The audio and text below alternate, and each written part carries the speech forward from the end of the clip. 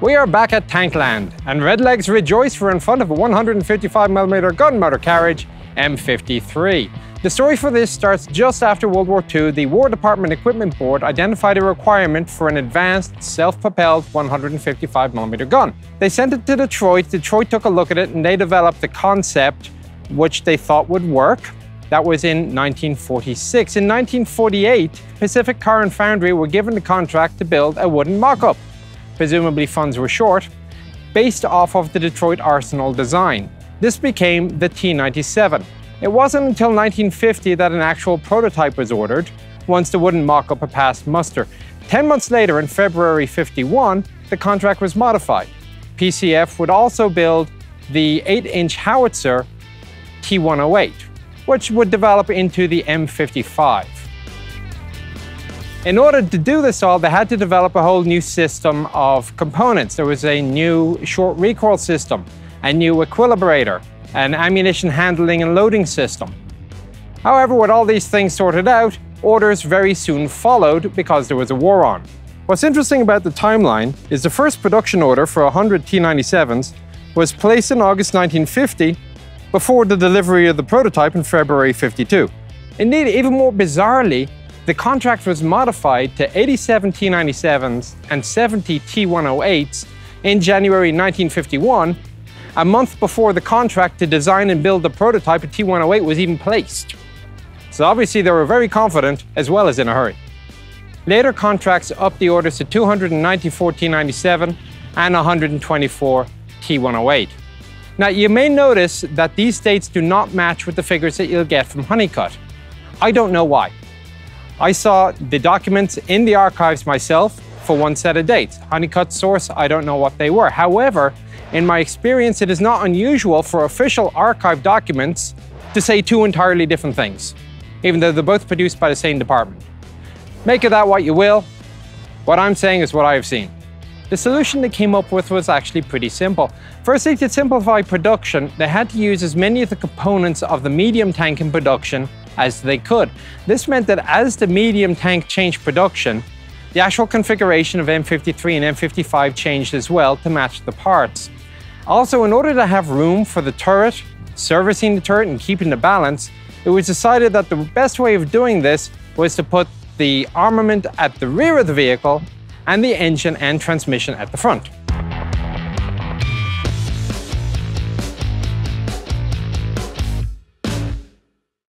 So as you come around to the front of the vehicle, we're going to start off, of course, with the headlights in the corner, service, and infrared. There's also blackout and markers.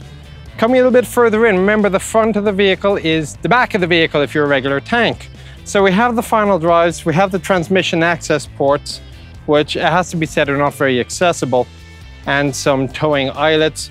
The travel lock, of course, has pride of place at the front top center. Then if you come around to the side, you start seeing some of the more signature features of an artillery piece vice a tank. Now, certainly the front half of the running gear looks pretty similar to the back half of the tank. You have the same sprocket, you have the same road wheels on torsion bars. The difference starts to occur when you get towards the back of the vehicle. Uh, in order to reduce the effect of recoil, what they've done is they've taken the idler wheel and they have moved it. No longer is it up here, but they've simply moved it down onto the ground making seven road wheels in contact with the ground. It is a trailing idler. This does two things. Firstly, it increases the um, length of the track contact area. So when the cannon fires and the recoil comes back, you have more track at the back to support the cannon. Also, they had this neat feature that you can now lock the rear suspension in place, and that would help with the recoil absorption. And then, of course, you add the spade to that. Other than that though, the actual suspension and running gear is very similar to the M47. So to help absorb the recoil, we have the locking system here for the trailing idler. And uh, this is of course mechanically done from inside. We also get a good view here of one of the volute spring bump stops. And uh, every road wheel arm will have one of these. It just prevents the road wheel arm from swinging up so high that it breaks the torsion bar. Moving up and forward to the driver's door, you can see that it, like the gunner's door on the other side, is split into two parts. If you just want to have your arm, I guess, sticking out the side, get a little bit of fresh air, open up the top half. If you want to get in and out, open up the bottom half. This allows you access to the driver's compartment. We'll come back to that in a few minutes.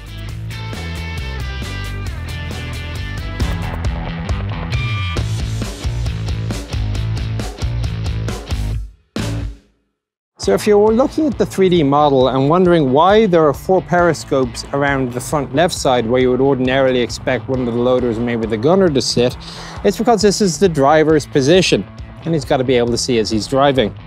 So I'm just going to hop down right quick and I can still speak to you through the open door. Hooray! Now, point to note, driver's position in a turret. Bear in mind, we have the transmission and engine are in the hull at the front. Where does the driver go? Well, the answer was there wasn't any room for him.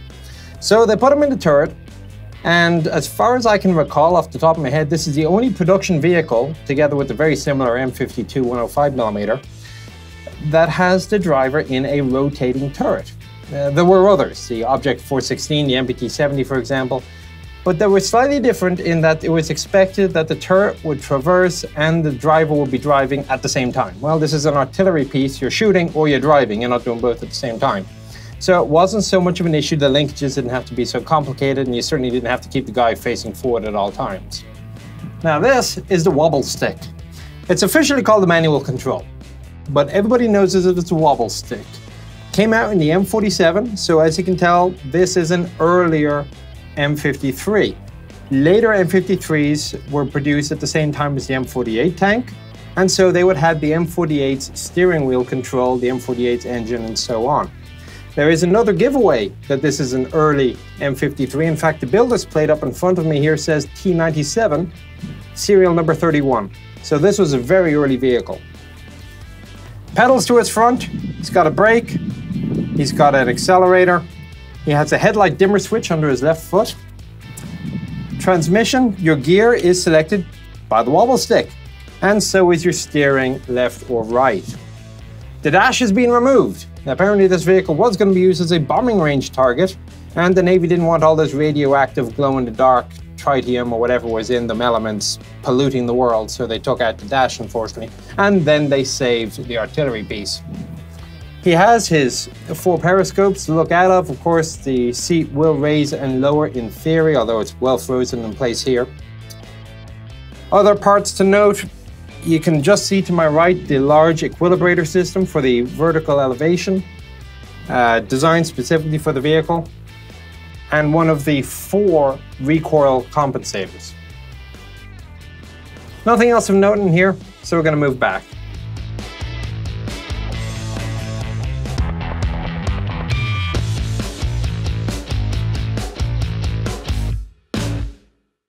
There are two fuel tanks on the vehicle. They are filled in front of the turret at the rear of the front hull. You can also see the two bump stops, again, volute spring. They will mesh with the wedges welded to the front of the turret, and they are hard stops to stop the turret from traversing too much. You get 30 degrees of traverse to each side. Also on the front, you're gonna find the spare track blocks and the track fixtures. Well, that's what they're officially called. In actuality, everybody just calls them track jacks. And what they do is they hold the track together while you put on the end connectors. So as you move forward onto the engine deck, the sleeping accommodations are marred by a number of bumps and protrusions. The muffler housing might maybe work as a pillow, but not so much. Underneath each side, you're gonna have on the outermost areas, the storage compartments, and then you can open up the louvers. On the right-hand side of the vehicle, you're gonna see the battery system. There are four 12 volt batteries giving you a 24 volt system. So as you can imagine, they are wired in series in parallel. Under the left hand side is where you're going to find your air cleaners. Underneath in the center where you can't get at it without a crane, you're going to find the Continental AV1790 engine. It's a 29.4 litre V12, cranks at about 810 horsepower. Again, depending on which version of M53 you have, what the appropriate tank was that was being built at the same time, you have a different version of the engine. So the earlier ones had the 5, later ones had the 5B. Moving further forward from the engine compartment transmission, cross drive 859-4 or in later versions of 4B. Filled up through here. The whole shebang will get you going at uh, about 31 miles an hour, 380 gallons of gas. That'll get you about 150 miles. Exterior features on the turret, pintle mount for the Commander's caliber 50 machine gun. There are two ports here for gunner's periscopes, a vision block, and an actual panoramic scope used for primary and direct fire. Down on the front in the mantlet here is the direct vision telescope used for direct fire. Obviously at the rear of the vehicle you're going to find your recoil spade. It is lifted up and down by a hoist. The control for the hoist is located here next to the rammer. As for the rest of the rear doors, well, original rear doors were the typical barn door style, uh, but that was only on the very, very original vehicles. Later on, they decided that, well, if we're going to tailgate, let's tailgate properly. And so we actually have a dropping tailgate and a overhead protective roof to keep the sun off while you have your barbecue and bar. And if you think they didn't do that in the field, think again, they would have. Now, this is still an early model vehicle. Later production vehicles on the roof of this would have had an additional rail similar to the one on the inside roof of the vehicle. And that rail was used for an ammunition hoist. You would run it out onto the upper door and you could then lower down the hoist, pick up the six inch round, 152 millimeters is about six inch, or with the M55, the even bigger eight inch round, and hoist that up onto the platform and then into the vehicle. You can see the size of just a projectile there to my left. That's a 155. Imagine how big an 8 incher is. 20 rounds could be stored in the M53, 10 rounds of 8 inch in the M55. Now, at this point, it's probably worth pointing out that converting an M53 to an M55 was really easy. All you had to do was change out the gun, change out the ammunition racks, modify the pressure in the equilibrator, and you're done. Hey presto, redesignated.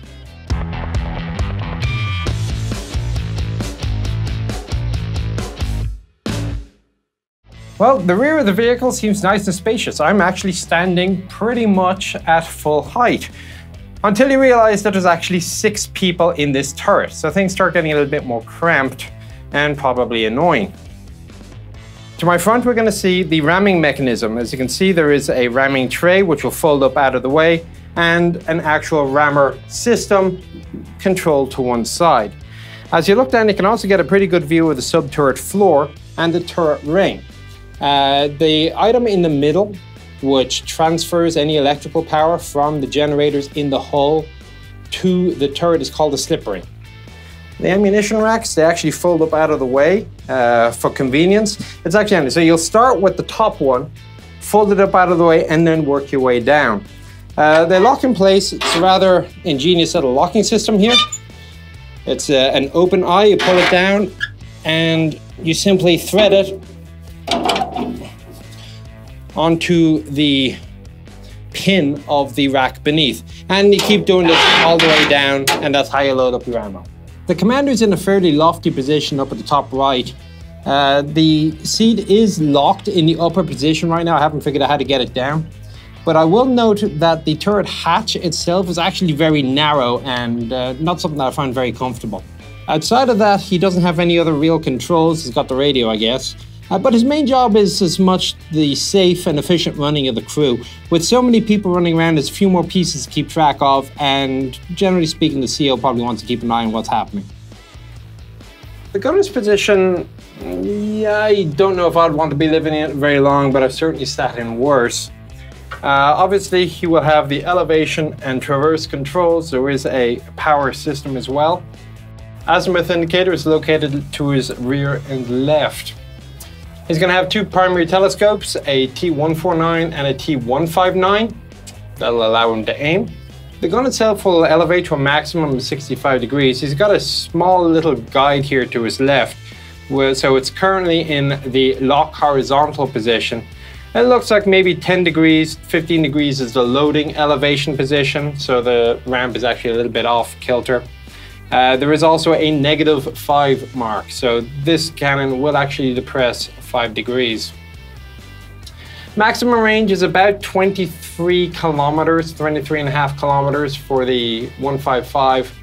The 8 incher with the bigger round will only go about 14 kilometers. Outside of the other controls that he has in here, I, I have to say, well, it's probably the most fun. There is a housing which says in big letters, firing switch. Uh, it's a foot trigger, you just depress down with your left foot, gun go boom technical terminology. That's it in here because I don't have the operator's manual, so we'll move outside. And that's it for the M53.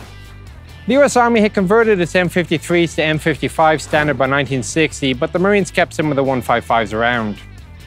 It saw very limited export success. The only other users were Turkey and Belgium, and the vehicle did see combat in Vietnam. There was one additional variant produced, the T-162, which is basically the same vehicle but with a 175mm cannon, that never entered service. What ended up happening was the Army decided that air portability was more important than NBC capability, and the M53, M55, and T-162 were replaced on the line by the M107 and M110 self-propelled pieces. Ironically, they themselves were later replaced by the NBC-capable M109 and MLRS. That's it for the M53. See you on the next one.